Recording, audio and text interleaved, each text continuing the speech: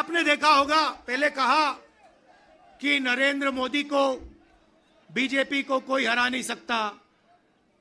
नरेंद्र मोदी जी कहते हैं, भैया, मेरी डायरेक्ट लाइन है, भगवान से मैं डायरेक्ट बात करता हूँ।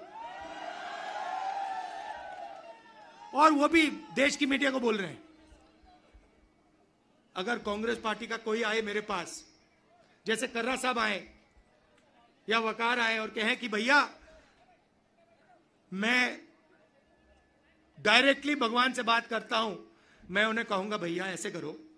आप ये बात बाहर मत गलती से बोल देना। नुकसान हो जाएगा। लोग पता नहीं क्या कहेंगे।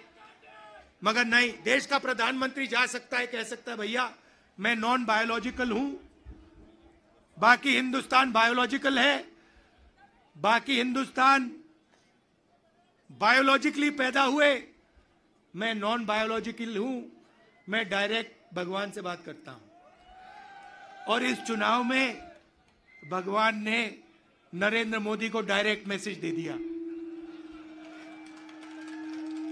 कि भैया, आपको लगता है कि आप भगवान से बात करते हो, मगर भगवान आम जनता से बात करता है और भगवान आम जनता की राय को सुनकर काम करता है।